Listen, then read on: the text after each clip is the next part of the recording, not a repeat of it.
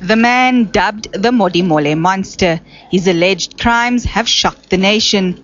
It's believed Kotze hired three men to gang rape his estranged wife. And using a screwdriver, pliers, nails, and an angle grinder, he allegedly tortured her. Kotze also lured his stepson to the house and allegedly shot and killed him. Today he appeared with one of the three men allegedly hired to attack his wife. The court ordered that the second suspect may not be identified.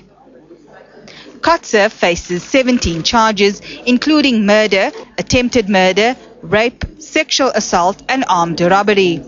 His co-accused faces similar charges except murder. The case was postponed to the 10th of February for further investigation. The men can apply for bail later.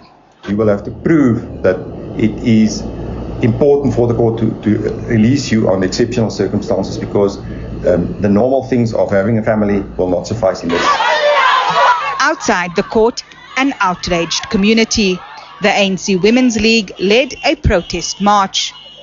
The objective is to support our fellow women who has been traumatized and also to say to other women uh, abuse against women and children is what as South African women we are abhorring.